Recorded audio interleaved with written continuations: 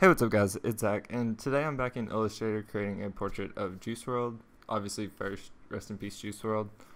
I think I first heard Juice Wrld on the um, the Lyrical Lemonade, the Cole Bennett directed music videos. Um, All Girls Are the Same and Lucid Dreams, and obviously two great songs. Actually, go check those out. But um, the pixel sorting effect in Lucid Dreams music video actually inspired like a lot of my style and just the way that music video was shot was very like most of the shots were like very portrait on that one chick and juice and like very trippy very atmospheric not a lot like going on in the background but just very like got the point across and i don't know inspired me quite a bit. I know the final results don't look like i like was trying to emulate that or anything but it was just very much like in the style i was going for and like pushed me to keep experimenting and stuff like that. But anyways, on to actually what I'm doing now. Um, obviously you saw me bring in the photo and everything. Um, normally when I started drawing, I try to get as much of the like darkest darks done, and then I try to work backwards from that, like obviously mid range and then the lightest colors. I do kind of bounce around a little bit just because I'll be like, I'll have an idea and be like, oh, I wonder how this will look. And then I'll do that. And then honestly, I'll just start doing other stuff while I'm thinking about other, like, if I don't know what I'm going to do in the background, well, I might as well do lines for like five minutes. And then if something jumps in my head of like, oh, I could try that on the background, I'll just do that on the background and then go back to doing my blacks. And then I might stare at that for a little bit, you know, and be like, hmm, not really feeling that, and then change it. I think I'd do that with the square, end up changing it to a circle, stuff like that. You know what I'm saying? Just like you want to look at it and kind of live with it and just feel how it's feeling, and yeah. And you'll also see me jumping back and forth into Photoshop, and this is so I just have a good idea of like what the final piece is going to be because I do some of the glitches, or pretty much all the glitches for this one, but sometimes I like mix it up where I do some of the glitches in Illustrator, some in Photoshop, but I do the glitches and just fine tune the color in Photoshop. And I like to use like smart layers and place the Illustrator file in there. That way I can like just save the Illustrator file and then jump back into Photoshop constantly and get a good idea of like what the final piece is going to look like as you see it now. Um, because I just don't like to be surprised at the end and then have to do a lot of fine tuning at the end. I like to just, you know, slowly work my way up and then just be kind of done. And yeah. And if you're unfamiliar of how I get those glitches in Photoshop, I will link in to a video in the description of how I do that. And if you're not interested in how it's done, you just want to glitch your photos, um, you I give away these templates on my Patreon. There will also be a link to that in the description. And yeah, um, as you see, it's just kind of like back and forth from then on. Like drawing more detail, drawing like seeing if this is too dark seeing if this isn't dark enough like seeing where it's going to end up lining up in some of those glitches um, and just slowly building stuff up. Like i said i try to go from like dark to light. So as you're seeing and i also like to focus on like the focal area. Like as you see i did the face and then got all those values down and then got the like a basis for the background. So i get like the overall feel. And then i start moving into just like secondary stuff and then do the same like dark to light again.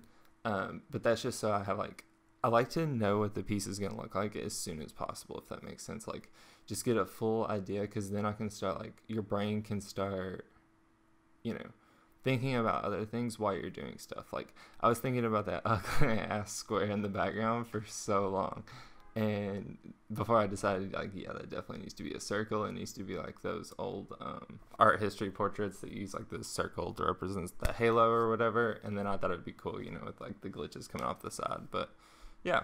And the only other really like technical thing that I haven't covered that I do, which if you've seen my other videos, I'm sorry I'm rehashing some of the same stuff, but um, I use the Pathfinder tool a lot, specifically the merge and subtract and the only thing I do unique with those really is I um, have a mouse with a Razer mouse with programmable buttons on the side, which I'm sure any mouse with buttons would work. But I bind, um, subtract, and merge to each one of those, like two buttons on the side, and it really speeds it up. You don't have to do this. Like obviously, you could just go over there and click it, but there's not like default shortcuts to those. I guess you could set it to like F11, F12. You could set it to whatever, but um, at least for me, it's just fastest to do on the mouse.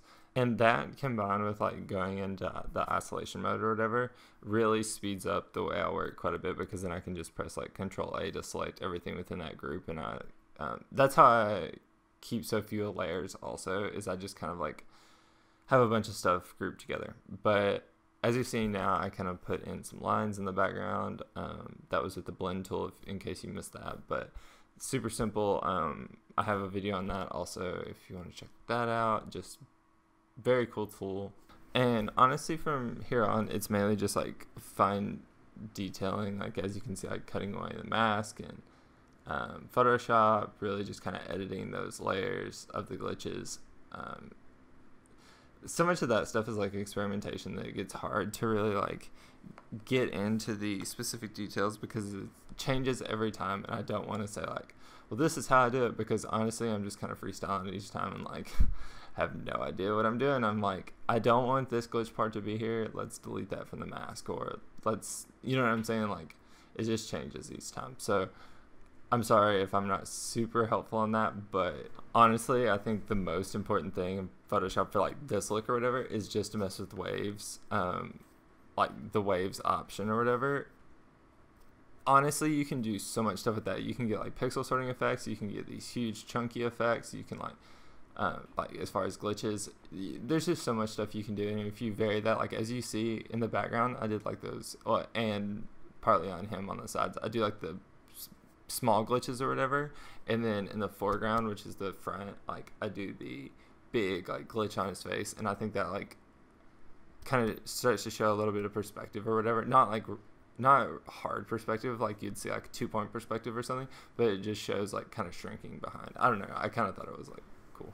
But while I'm rambling, I would also like to say like thank you guys so much for a thousand subs. Honestly, it's super cool to know that even like on something super niche like this that there are people that you know what I'm saying care and that there's been so much like great discussion in the comments, stuff like that. It's like, wow, people like actually care about making stuff right now. Like people care about Illustrator, people care about I don't know, like really creating right now and really creating something but it feels like it's such a good time to be expressive. So it it's really nice to have like a community behind that that really like you know shares that you know passion for wanting to get better, passion for wanting to learn. And honestly, I'm still learning as I go too, and I appreciate you guys hanging in there with me. And yeah, just once again, thank you for a thousand subs. I know I don't upload the most consistently, but um you know working on that just got better, internet, all that good stuff. So also wanting to throw in a few more videos that aren't as much just like speed art or anything like that or process oriented more about like macro things like